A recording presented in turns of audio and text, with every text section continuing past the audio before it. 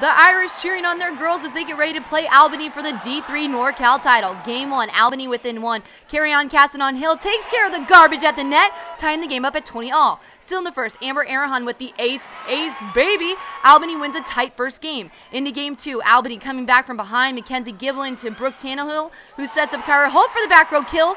Cougs win game two. Now in the third, and it's all Irish. Bianca Dirige to Ariana Dirige out to Stephanie Lee. She puts some heat on that one. Cathedral fighting for this game. Madison Murtagh with the roof to seal the deal. Irish take game three. Start of the fourth, Tannhill to Giblin, who lays it up for Erhahon for the killer roll shot.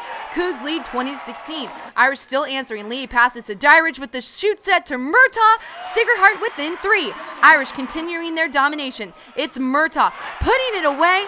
Sacred Heart Cathedral wins game four. Fifth game now. Erhahon handling the overpass, 10 to 9 Albany. Game point for the Cougars, and it's Holt to Giblin, who sets up Marin Gibson for match point.